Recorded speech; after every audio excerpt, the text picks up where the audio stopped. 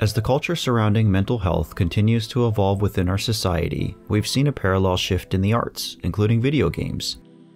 Indie developers have been especially in tune with this shift, being regular people or small teams focused more on meticulously crafting their games' narratives since they aren't big companies chasing the almighty dollar.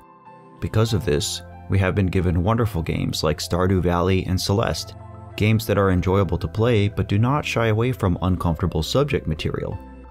I appreciate that these developers were brave enough to juxtapose their beautiful art with mental health topics like depression, PTSD, and substance abuse. It says a lot about who they are as people. I feel that games like this are a new way to get the message across to the public that it's okay to struggle. You aren't broken, you aren't alone, and you aren't unworthy of love. Dealing with the hardships of life does not make you any less human. I tip my cap to developers like these. As the title of this video suggests, I lost my 13 year old daughter to suicide in June of 2023. In the wake of her death, my perspective on basically everything in life has changed. Time, love, money, art, none of these things are what they used to be. As I stumble forward, desperately trying to piece together some semblance of a new life, I find myself not only playing video games as a means of distracting myself, I also appreciate aspects of gaming that I didn't pay much attention to in the past. That brings us to Omori. I've been aware of this game's existence for years, but it just didn't seem like the kind of game I'd be into. Don't get me wrong, I love RPGs. They are perhaps my all time favorite genre of games. But as someone who's used RPG Maker for over 20 years, I'm painfully aware of its reputation. While I love RPG Maker and have always had a lot of fun with it, it has produced an endless number of, well, subpar games. Because Omori was created using RPG Maker, I was admittedly a skeptic of it. But as I said, my daughter's death has changed my perspective on a lot of things. Gaming has become an integral part of my grieving process, so it's only fair that I dedicate some time and energy into the games that I've had an emotional connection with since losing Allison. I figured it was time to give this game a fair shot. Before we go any further, let me briefly explain what this game is. There are countless videos on YouTube that chronicle the development of Omori, so I'll spare you most of those details. In short, Omori is an RPG published in 2020 by indie developer Omocat after six years of development and became an instant cult classic. Based on the creator's webcomic series of the same name, Omori follows the story of a young boy named Sunny who, in the wake of his sister's death and apparent suicide by hanging, has become a hikikomori, a term used in Japan to describe people who have completely isolated themselves from the outside world. The game's narrative has a heavy focus on serious emotional and mental health topics like depression, anxiety, guilt, trauma, and suicide. Maybe playing a game with this type of subject material was a mistake after losing my daughter, but if I was ever going to give this game a fair chance and feel any real resonance from its message, this was as good a time as any. Welcome to Gaming with Grief.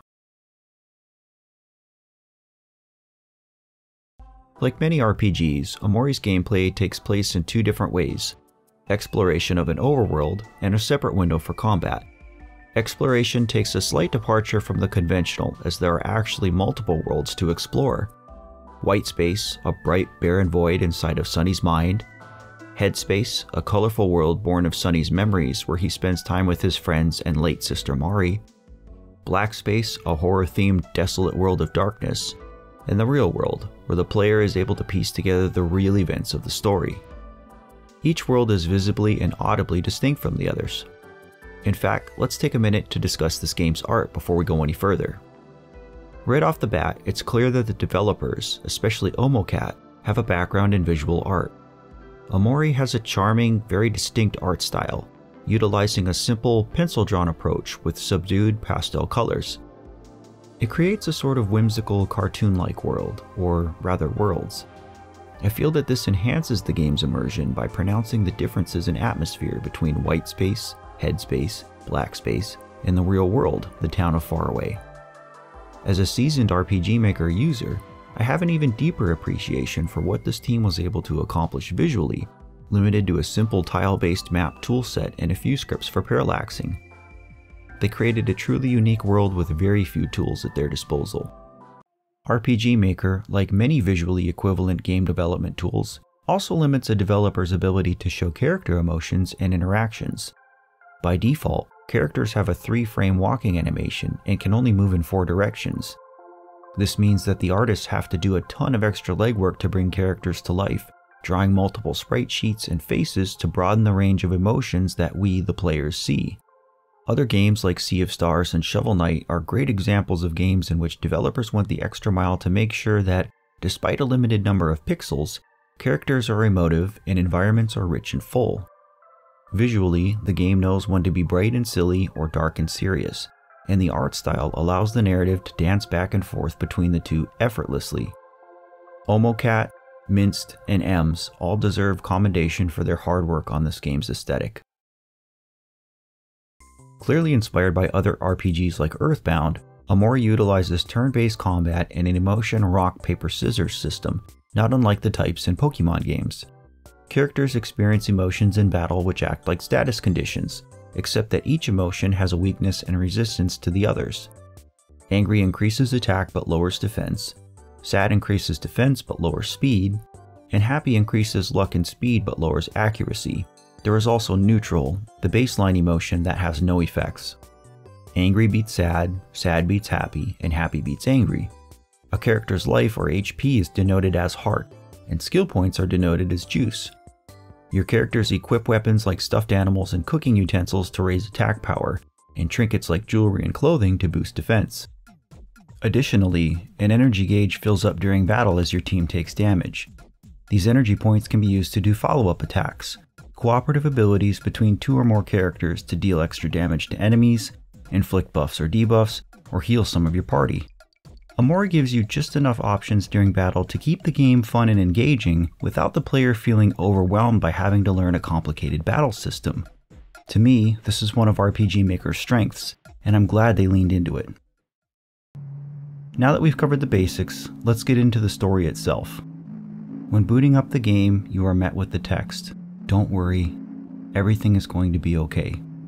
You see a boy sitting on the floor in the dark with his head buried in his knees, and another trying to console him. I can't tell you how many times I've felt this very same way since my daughter died. 15 seconds in, and I can already tell that this is going to be a very emotional experience. The game begins with the titular character Omori awakening in white space a barren void with only a few objects to interact with, including a box of tissues and a sketchbook. A door soon appears, and Omori enters it to find himself in the colorful, dreamlike world of Headspace, met by his three childhood friends Aubrey, Kel, and Hero. This is where most of the gameplay of Omori takes place. Let's quickly talk about each member of the team. Aubrey is sweet and very strong willed. She is not afraid to speak her mind and could be considered the bravest of the group. She also often bickers with Kel, who seems to have a knack for getting on her nerves. Aubrey is primarily an attacker in battle and gains the ability to destroy heavy objects in the field. Kel is your typical lunkhead, the athletic type who is loud, clumsy, and very extroverted. For all of his faults, you truly won't find a more loyal friend with a better heart. I wanted to dislike Kel at first, but he has a way of growing on you. Kel is a balanced fighter with a few attacks that hit more than one enemy, he can also throw balls at things like statues and switches to help you traverse the world of Headspace. Lastly, Hero is the oldest of the group and Kel's older brother.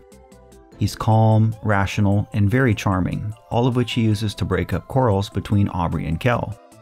He's very much the peacekeeper of the team. Hero is mostly a support character, with several cooking skills at his disposal to restore the team in battle.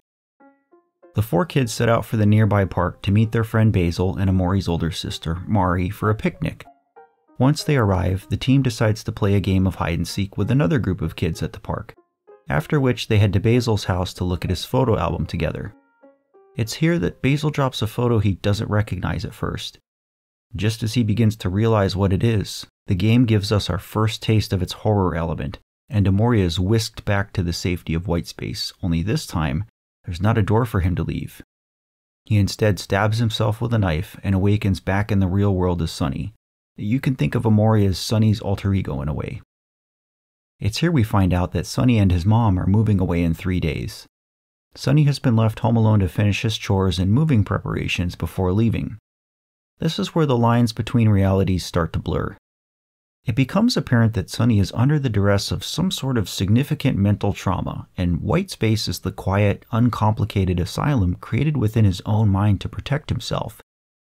Sunny descends a staircase into abysmal darkness, where he is met with one of his first terrifying encounters with an unknown creature of pure terror. Defeated, Sunny makes his way back to bed, where he once again awakens in white space. He again enters the door and returns to Headspace. Back in Headspace, Omori rejoins with his friends, only to find out that now Basil is missing. Overwhelmed with concern over their lifelong friend's well being, the four of them set out on an adventure through Headspace to try to find him. The first locale the team explores is the Pinwheel Forest. This is pretty standard RPG fare. Explore a happy, forest themed area littered with rabbit and plant based monsters early in the game. At the end of the forest, they encounter a giant ladder that they decide to climb, forcing Omori to face his first of many fears heights. This will be a common theme of Omori's development throughout the story. At the top of the ladder lies Otherworld Camp, a quaint hillside village full of interesting residents and a recycling machine that was clearly inspired by the Save robot from Mario Paint. The team asks around for clues to Basil's whereabouts, but to no avail. Instead, they meet the bedridden space boyfriend, and after agreeing to go on a search for a lost mixtape, make their way to the nearby junkyard. The junkyard could be considered the game's first dungeon, full of conveyor belt puzzles and locked doors. The enemies here are all discarded electronics cassette tapes, boom boxes, computers, etc. It's here that they also meet the Kool-Aid, I mean, the Life Jam guy, who sells this game's version of a revive item, Life Jam, which is kind of cute because when your characters die, they are turned to toast. The boss enemy of this area is the download window, a computer program that has seemingly gone haywire. After defeating it and recovering the mixtape, they leave the junkyard where they meet Pluto, a rogue planet who decides to open up a convenient means of fast travel for the team. Returning to Space Boyfriend's ship, the mixtape ends up sending him into a frenzy, and the team has no choice but to battle him.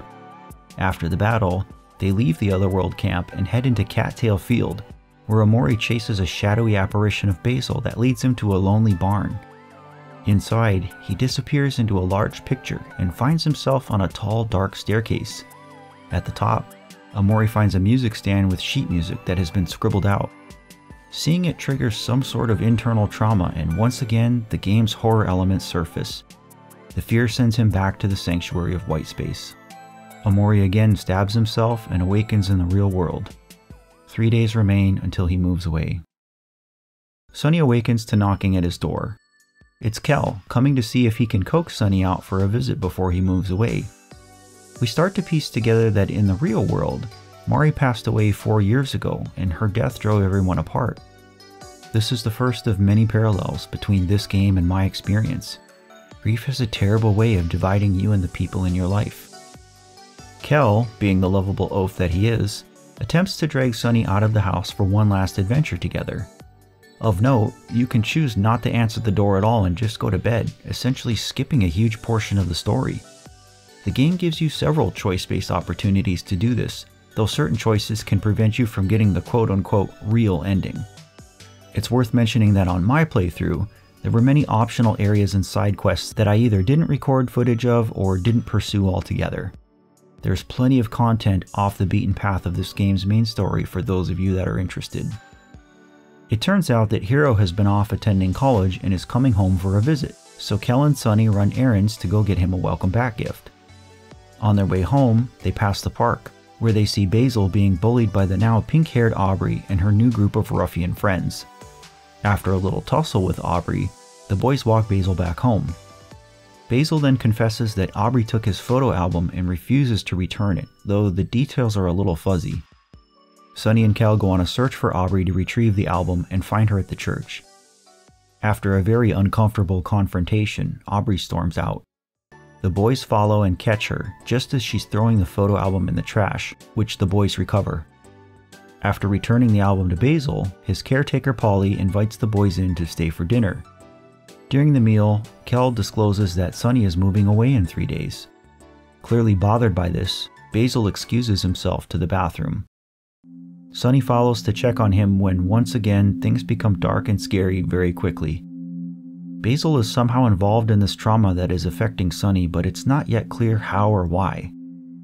Unable to help Basil, Sunny returns home to an equally frightening scene. He again confronts the physical manifestation of his trauma, but is unable to defeat it and returns to Whitespace. Again, leaving Whitespace through the door and returning to Headspace, Omori rejoins his friends who collectively continue their search for Basil. They head into the Pyrefly Forest, a maze like labyrinth of spider infested trees. After solving a few puzzles and repairing an old minecart track, they reach the Sprout Mole village. After helping a few of the silly little plant people, the group enters Sweetheart's castle to watch a live bachelorette type of show. After a series of ridiculously comical events, something that this game does well to balance out its darker themes, the group is thrown into Sweetheart's dungeon where they must escape. Sweetheart's castle, including the dungeon and courtyard, is a huge area, perhaps the biggest dungeon in the game. After what feels like forever, the group finally makes it out and returns to the stage where they battle Sweetheart. In yet another strange turn of events, Space Boyfriend shows up and sweeps Sweetheart off her feet. She then blows up her stage saying that they don't need it anymore, and the group jumps down into the hole. Omori is separated from the others and left to explore a dark library, giving us our first true set of clues into the real world events of Sunny's trauma if we as the player are able to discern the redacted names in the books. Normally, tedious tasks like this in video games is something I would just pass by, but I was captivated by the story at this point. Playing Omori is like reading a book, a book that I didn't want to put down because, despite how painful some of it was to experience, I understood and related to that pain. Omori has a vision of Basil and is shown the back of a photograph, on which is taped a key and the words, Don't forget, it's in the toy box. Omori again returns to Whitespace, where he stabs himself and awakens as Sunny in the real world. Before I go any further, I want to stop and talk about this game's sound design a little bit. The soundtrack for Omori was composed by Slime Girls, Clover, and Bo En. The trio often favors simple, chip-tuny melodies, nostalgic of games like Earthbound and Animal Crossing. Just like with the visuals, sometimes less is more, and the music melds perfectly with the art style. This game boasts a truly impressive catalog even for an RPG, with over 170 tracks in total. The tracks that are supposed to convey peace, quiet, or calmness utilize light acoustic strings and flittering flutes and whistles, underscored by simple piano melodies. They often sound like they were made with toy instruments, which I find very charming. You can't help but feel a calm sadness. Even though Omori is considered to be a horror game, the team was able to sonically capture positive emotions as well.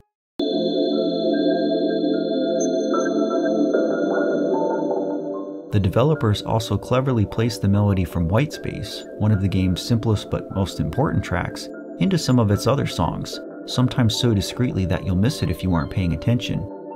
I like little Easter eggs like this. It was a great creative choice as it allows them to keep the sound more cohesive and utilize a fantastic tune more than once.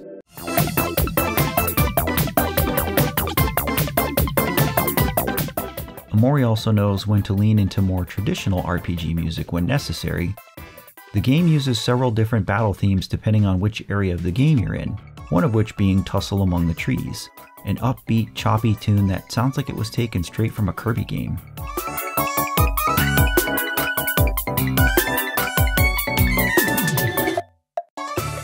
Tracks like this showcase that the game can play to every color on the emotional spectrum, not just the dark, somber blues of sadness.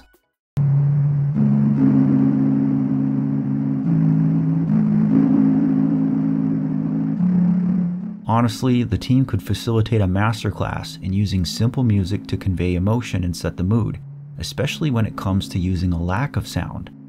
Some tracks have almost no melody at all, favoring a quiet, haunting, hypnotic synth to create a feeling of perpetual dread. Being able to create darker atmospheres in this way is critical for games like Omori that use horror elements to tell the story. Again, player immersion is vital for games conveying such an emotional narrative. If you're able to, play this game with headphones on. Several songs are enriched with deep bass lines, ethereal bells and beeps, and audio panning that you may miss without them. My personal favorite tracks are Tussle Among the Trees, Poems in the Fog, and Three Bar Logos.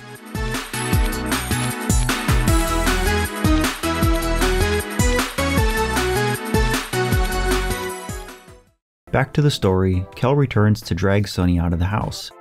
Today is the day that Hero is coming home from college, and Kel has been tasked with picking up some food for the occasion.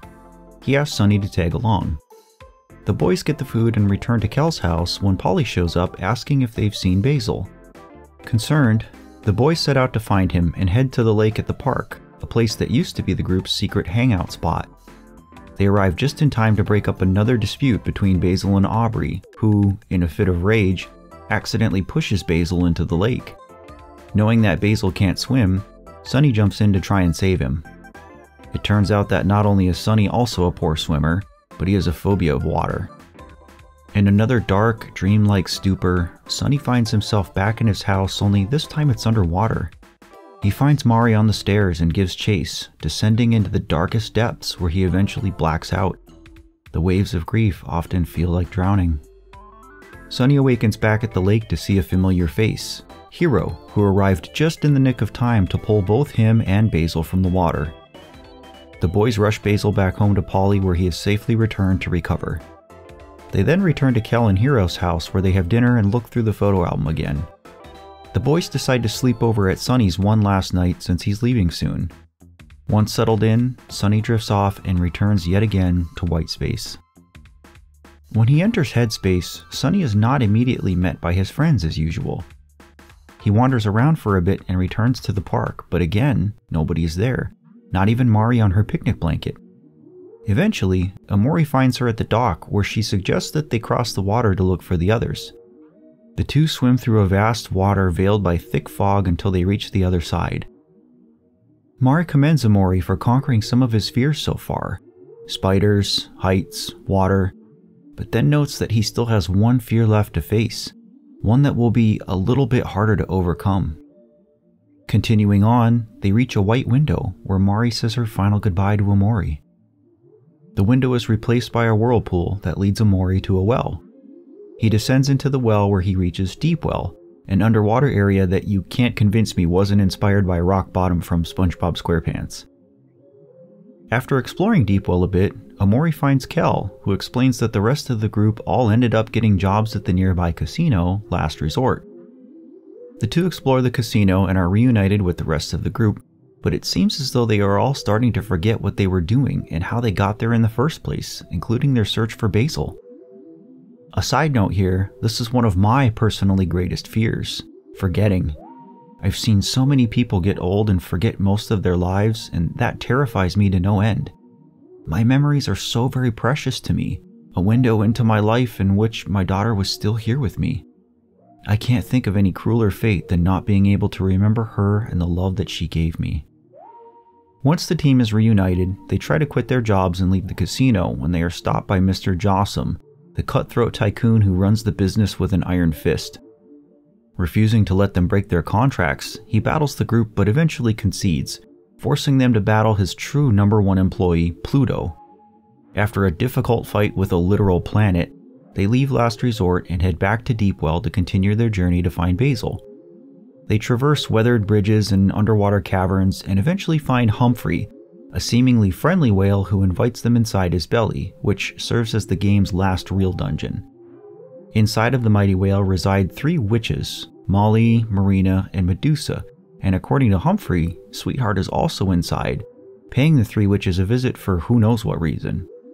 Humphrey's insides are an expansive maze of winding rivers, button puzzles, and digestive hazards.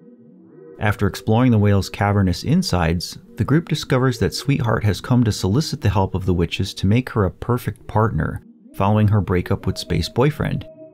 Each of the three witches creates a different clone of her, but each time Sweetheart storms out, unsatisfied with their work. In a final confrontation, Sweetheart escapes and leaves Omori and the team stuck with the bill for the witches' hard work a million clams. Unable to pay, the group is forced to battle the witches. After the fight, it's revealed that the reason they needed so much money in the first place was to feed Humphrey with. Now he's hungry and not happy about it. Humphrey swallows the witches and tries to also swallow our heroes. After yet another battle, the team escapes the hungry whale's insides and they find the last black key to complete the Hangman game, revealing the message Welcome to Black Space. We are shown a scene of Basil's house, now dark and dilapidated. Is this where we're supposed to go now? The team descends into a whirlpool left in Humphrey's wake and traverses an odd pink underground river. A mysterious voice speaks to Omori, referring to him as the Dreamer and reminding him of the terrible thing he was about to face. Whatever awful trauma he was exposed to, whatever unforgivable act he committed, the time to stop running from it to the safety of white space is quickly approaching. Through the river, the group find themselves in Neighbor's room, where all of their adventures in Headspace have begun. They walk the wooded trail to Basil's house, again giving chase to a shadowy apparition of him. This time, all of the flowers along the way are dead and can't be revived.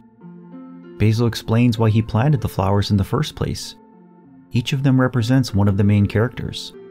Roses represent Hero, who is universally loved. Cacti flowers represent Kel because he is hardy and resilient, things like that. It is also a stern reminder of the finality of death, something I still struggle to understand and accept in the wake of my daughter's death. I hate that death is so mysterious and permanent, but respect that this game at least acknowledges that fact. The group reaches Basil's house, overgrown with black vines and the floor gone, opened into a seemingly bottomless pit. Omori plummets into the darkness. Welcome to Black Space. Omori, now without Aubrey, Kel, and Hero, lands in a black ocean. He swims to shore and navigates a forest path covered in thick spider webs. He continues forward, cutting the webs with his knife as he goes. The forest gives way to another staircase. At the top is Mari, resting peacefully in a clear coffin atop a bed of white orchids. It's truly a sight to behold. It brought me to tears.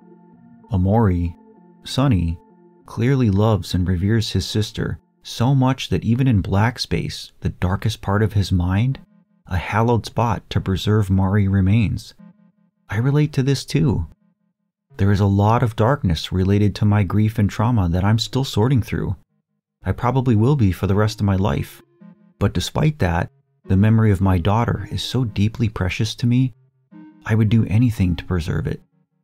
As Omori approaches Mari, she changes into the shadowy apparition and quickly disappears, leaving behind a black door. He enters the heart of black space, an inverted copy of white space. Inside are countless doors, each leading to a disturbed, distorted place within Sunny's psyche. Each locale is unique, and the creative art style of the game is dialed to an 11 here. It's actually unnerving to be here, totally severed from the colorful, silly world of Headspace. Omori explores door after door, delving deeper and deeper into his trauma with each knob turned. Many of the doors lead to Basil, who, despite being relieved to see Omori each time, ends up being killed in one way or another. These scenes represent Basil's feelings of being abandoned by Sunny in the wake of their trauma. It begs the question who is trying to save who? Eventually, a new door bathed in an eerie red light appears. This is it, the end of black space. Inside this crimson void, Omori finds another version of Basil, detained by the same red hands that occupy white space. Basil begs Omori for help, but without words or hesitation, Omori stabs Basil. I couldn't believe what I was seeing when I played this part. Omori steps forward and descends another set of stairs where a throne of red hands awaits him at the top. He seats himself, now the king of black space. Sunny has lost control. Is Omori doing this to protect Sunny once and for all? Has he become fully sentient and drunk with power? At this moment, Sunny wakes up, having fallen out of bed from the nightmare. Kel is still in his room asleep, having not heard the thump of Sunny hitting the floor, Hero, however, is gone. Sunny wanders around the dark house and comes across the piano room, an area of the house he'd previously refused to enter if you tried. Mari, dressed in all white, is seated at the piano, playing a soft, sad waltz. She recounts her and Sunny playing together, practicing for a recital they were supposed to perform. She apologizes for pushing him so hard. Just then, Hero enters to find Omori alone. he reminisces of Mari, saying he can't understand why she chose to leave the way she did.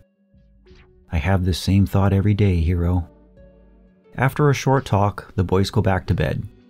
Sunny awakens, and it is now his last day in Faraway. During breakfast the next morning, one of Aubrey's new friends, Kim, shows up at Sunny's and asks the boys to go visit Aubrey at her house. After the incident at the lake with Basil, Aubrey has holed herself up in her bedroom and won't come out or talk to anybody. The boys commit a little bit of B&E and go upstairs where they find Aubrey, who's thrilled to see them in her house uninvited. During a long discussion, it comes to light that Aubrey has possession of the missing photos from Basil's album, the ones that have Mari in them. The four of them sit down together and replace the photos in the album, giving us, the player, yet another chance to peek into their lives of days past. I really like this approach. Unlike games where you just read about what happened or watch a black and white cutscene from the past, we piece together history during an active task. This is an effective and engaging way to not only discern what happened in the story, it's also a look into each character and their unique personality. They return the album to its former glory, aside from one missing picture. The four teammates, now somewhat reconciled and reformed, decide to go check on Basil and apologize.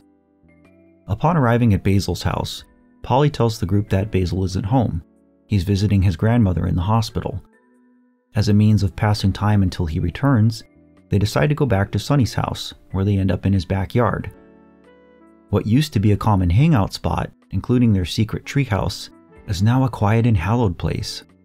A lonely stump sits in the back of the yard, the only remnants of the tree that Mari's body was found hanging from.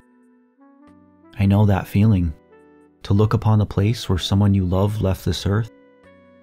It's a very heavy thing to carry in your heart and mind. After pausing to pay their respects and briefly discuss the day of Mari's death, they continue on into the treehouse. Nostalgia of days past washes over them. It's here that Sunny finds the missing photo from the album taped to the wall, and on the back of it, the key, and the note, don't forget, it's in the toy box. Suddenly, Aubrey rushes out of the treehouse and the boys follow. Back outside, Aubrey places a pinwheel in the stump and begins discussing an important and often overlooked part of her grief her anger. She expresses how angry she felt that the world kept turning after Mari died, how left behind she felt. I understand that all too well. When my daughter died, I became angry too. The passing of time became foreign to me. I couldn't understand how people just moved on when my world had stopped. If this sounds familiar to you, it's okay to be angry after suffering great loss. And if you don't quite understand, well, that's okay too. Just try to be patient if you know someone who is. Aubrey continues on to tell the story of the day she took the album from Basil. After Mari died, she asked Basil to come over and spend some time with him. Though he reluctantly agreed, Basil acted distant and left shortly after they got to his room. While he was gone, Aubrey saw the album and decided to look through it. She opened it only to find that Basil had blacked out all of the faces with a marker. Furious, she decided to take the album for herself at that point in order to stop him from doing any more damage to what was left of her memory of Mari and the happier days behind them. Remorseful for what she'd done and how she treated Basil, Aubrey falls to the ground in tears. Kel and Hero move closer to comfort her, but Sunny steps away. The group regathers themselves and decide to head back to Basil's. Polly answers the door again and tells them that, although Basil is back home, he went straight to his room and shut the door. Concerned, she invites the group in to see if they can talk to him. Though they don't get a reply when calling to him through his bedroom door, they decide to sleep in the living room in order to be there in case Basil comes out. Kel, Aubrey, Hero, and Sunny each drift off. Once again, we find ourselves in white space, but this time things are different. There's no rug, no box of tissues, no sketchbook, and we are Sunny, not Omori. Sunny steps forward to find the familiar set pieces, and Omori there waiting for him. Omori stands in place ominously, unmoving except for his eyes which follow Sunny everywhere he walks. Sunny only has one option to destroy the black light bulb that creates the safety that is white space. He does so and the room goes black, and the shadowy figure emerges for the final battle for Sunny's mind. During the battle, the figure transforms multiple times, taking the shape of Sunny's worst fears. All he can do is face his trauma and try to calm himself. Eventually, the figure changes to that of a girl dressed in white, her dark hair covering her face, suspended from the ground. Sunny does not shy away this time, and the shadow relents, leaving behind a now purified white light bulb. Sunny picks it up and is transported to a hazy path through the forest. At the end of the path, Basil sits beneath a large tree. He is again relieved to see his friend Sunny, but goes on to give a disheartening message that it may be too late and that it will be hard to accept the truth of that day. He tells Sunny that he has to stay strong. It's clear that both Basil and Sunny have been running from something since Mari died, and that it has been tearing each of them apart in different ways. He gives Sunny a new, empty photo album, and Sunny continues on, collecting new pictures to fill it with, but these pictures are different. They are dark, distorted, and hard to make out. Sunny continues through more dark, hellish dreamscapes his living room, a hospital bay with rows of dying patients, and finally a dark stage, collecting more pictures along the way and placing them into the album.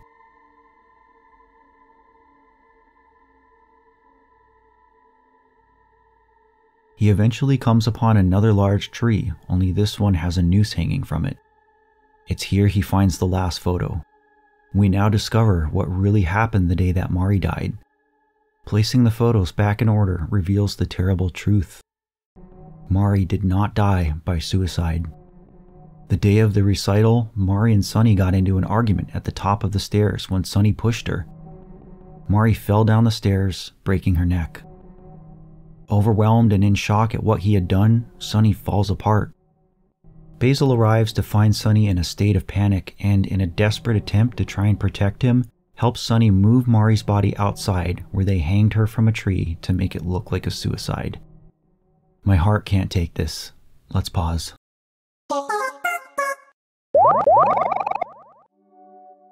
okay. Sunny awakens back in Basil's living room and goes upstairs to again check on him. In Basil's room, the boys together confront the shadow, known only as something. What a terrible, awful, accurate visual representation of what trauma, guilt, and anguish can feel like. Sunny and Basil are both consumed by a maelstrom of violent memories and emotion, struggling to save themselves and each other. Unable to do anything else, they attack each other until eventually Basil stabs Sunny in the eye. He blacks out. Ambulance sirens can be heard in the background. Sunny then finds himself wandering his neighborhood in a fugue state. He returns to his house to find Basil there waiting for him. Basil apologizes for causing him so much trouble and explains that all he ever really wanted to do was protect him. Basil gives his friend one last hug and walks away. Sunny enters his house, remembering the key he found on the photograph. On the way to the closet where the toy box rests, he returns to the piano room one last time to find Mari seated, playing the same sweet, soft waltz. She leaves him with a short but powerful message. Know that I'll always be watching over you, okay? As long as you remember me, I'll be there. It makes me wonder if my daughter has the same thought, wherever she is now. Sunny enters the closet and opens the toy box. Inside, he finds his violin smashed to pieces, strands of Mari's hair still tangled in its strings along with sheet music, the song he and Mari were supposed to play for their recital, Stained with Blood. He leaves the house to find himself on a long stretch of highway running through the rain. Memories of days gone play, showing us the happier time when Mari was still alive and the six friends were practically inseparable. It's really a beautiful thing to watch. It reminds me to try to do the same with my daughter, focus on the beautiful memories I have with her, not the fact that she's gone. After the memories replay, Sunny is returned to the stage. Kel, Aubrey, and Hero are already there, waiting to cheer him on. The room dims. A spotlight shines on Sunny. He pulls out his violin, now repaired by the good memories he just relived, and plays the song he and Mari were supposed to play together the day she died. He falls to his knees, tears streaming down his face. The time has finally come to let go of the guilt and face what he's done. He returns to white space for the last time. Omori is there waiting, knife in hand. This is it. The end. the true battle with himself. Sunny must rid himself of this thick, heavy shield that has weighed him down while protecting him all these years. The two exchange blows, Sunny barely managing to keep his heart up against Omori's deadly stabbing. Even more painful are the words he spouts, calling Sunny a coward and a liar. Now more than ever, it's apparent that Omori represents once dark and depressive thoughts. That voice in your head that tells you to quit, that you're worthless, that you're not loved. We all have that Omori inside of us. But please, don't listen to him, even if you've trusted him to protect you in time of crises. The fight ends with Omori overpowering Sunny. Game over. I thought I had actually done something wrong and lost the fight, but in reality, the game pulled yet another clever trick to immerse me, the player. Just like Sunny, you have to heed Basil's advice and keep going, even when you think you've been defeated. By not choosing to quit, the game continues. Sunny gets back on his feet and readies his violin. Mari appears, seated at her piano. The next sequence might be one of the most beautiful things I've ever seen in a video game.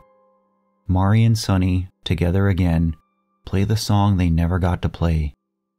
As their soft song fills your heart, memories of their life together play like an old home movie.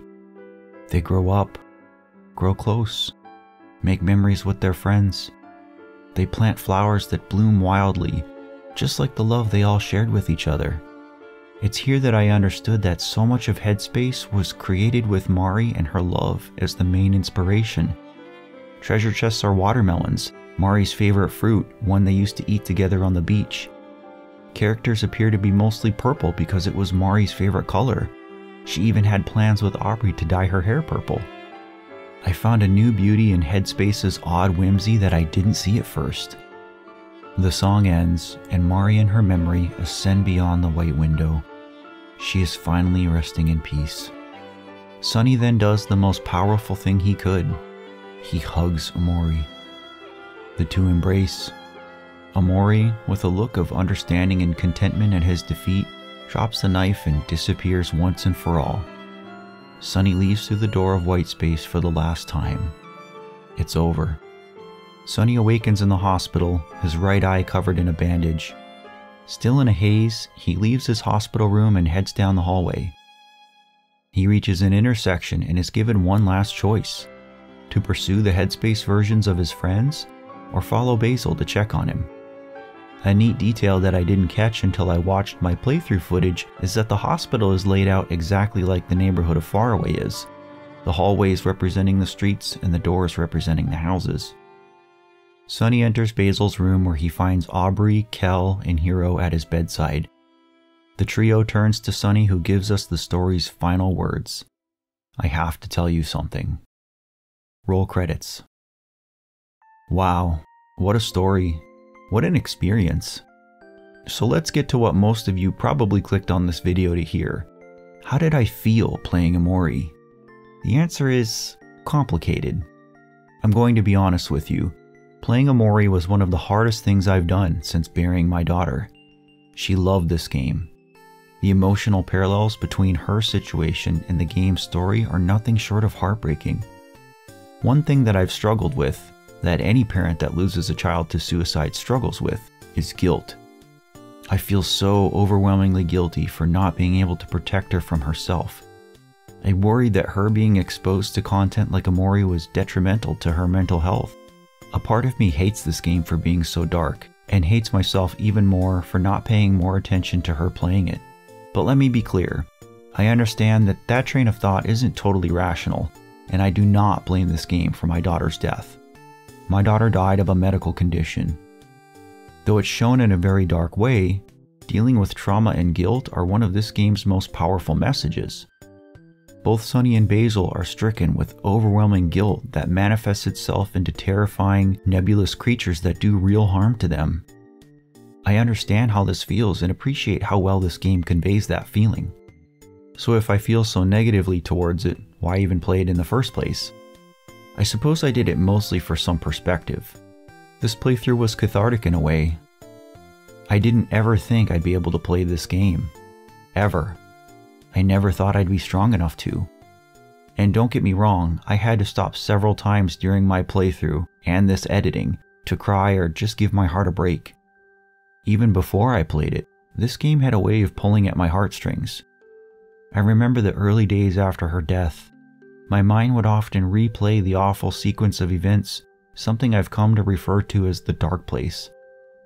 I understand now that my mind did this because it didn't want to believe what had happened. It didn't want to accept it as reality. Because what I experienced that day was surely too terrible to be real, my brain replayed it over and over and over, trying to find some sort of logical fallacy to disprove it. Was it a dream? Was I in a coma? Was she really dead or just sleeping? Your mind demands you examine every fiber of the memory in full detail on repeat.